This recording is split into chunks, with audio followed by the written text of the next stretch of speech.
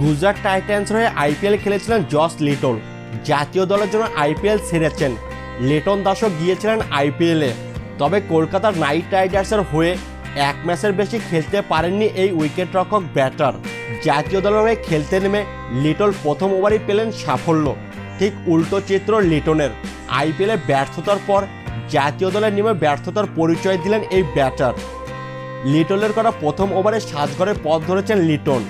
সেটাও আবার golden duck LBW হয়ে ফিরেছেন লিটন টস ব্যাট করতে নেমে তিন রানে বাংলাদেশ হারিয়েছে প্রথম উইকেট।